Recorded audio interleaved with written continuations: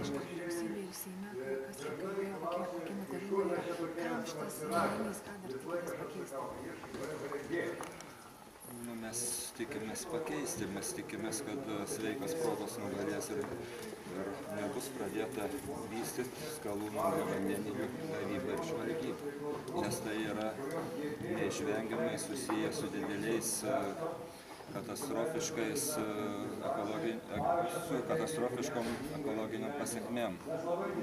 Bet jeigu poveikio aplinkai tas vertinimas parodys, tai tai gal tiesiog gal reikalo, kaip sakant, jėgas čia dedat, gal, gal Nu, neveiks. man, man, te, man teko labai nemažai daug kartų susidurti su poveikio aplinkai vertinimo ataskaitom, studijom ir galiu pasakyti, kad jos nu, neapsaugo nuo neigiamo poveikio, nes e, neteko dar susidurti su jokia studija, kuri, kurios išvada būtų, kad vykdant tokią ar tokią ūkinę veiklą yra galimi e, neigiami, e, neigiamas poveikis aplinkai ir visuomenės sveikatai.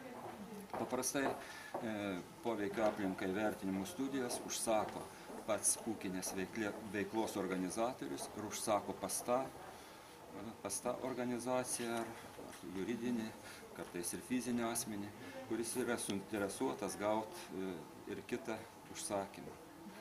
Rezoliucija, koks, kokie ten pagrindiniai teiginiai yra toje rezoliucijoje, kurią čia ketinate priimti? Na, aš dabar e, rezoliucija, Nu, esmė. rezoliucija e, bus svarstoma, bus pateikiama, bet e, manau, kad rezoliucija bus nukreipta į Lietuvos, į Lietuvos ir Lietuvos kaimo ateitį. Tai yra, e, bus nukreipta ne į tai, kad vat, e, mes dabar vat, čia e, išgaunam skalūnų dujas ir po mūsų nors ir tvanas.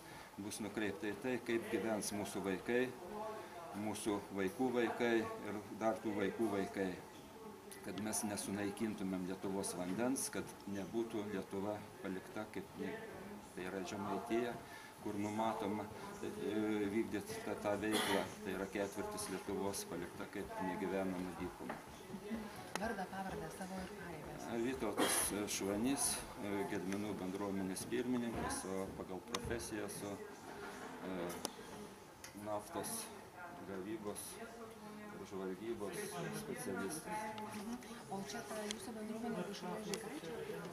Nu, čia, čia, čia jau vien žygaičiai dirba, čia faktiškai jungiasi visą Lietuvą, nes prezidentai, vyriausybei, Seimui buvo pateikta, e, pateiktas kreipimasis su 275 bendruomenių parašais ir, ir, ir ranspaudas. Tai, tai yra visa teritorija Žemaitijos prieštarauja tai ūkiniai veiklai. Jeigu ta rezoliucija, kurią šiandien jau čia jūs pasiruošę, visi patvirtinsit ir išsiųsit, kam reikia, na, jokios reakcijos nebus, ką toliau tada. Žinot, atostogų metas, kas kada grįž dar rudenį, kada peržiūrės, neperžiūrės, atsižvelgs, neatsižvelgs į tą rezoliuciją.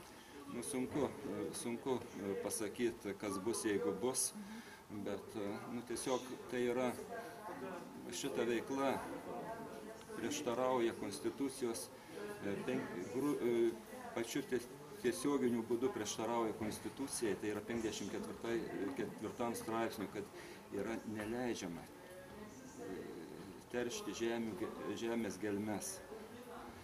Ir tai yra mm, prieštarauja ir kitiems konstitucijos punktams, tai yra, tai, tai yra pasikesinimas į Lietuvo žemė vientisumą, tai yra teritorijos sugadinimas, žmonių susijęs su žmonių galimų iškeldinimu. Nu, o kiekvieno piliečio pareiga yra ginti konstitucinę santvarką, Lietuvo žemė vientisumą.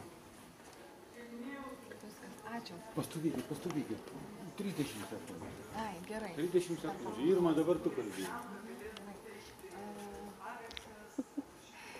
Taip, rezoliucija prezidentė, Seimui vyriausybė.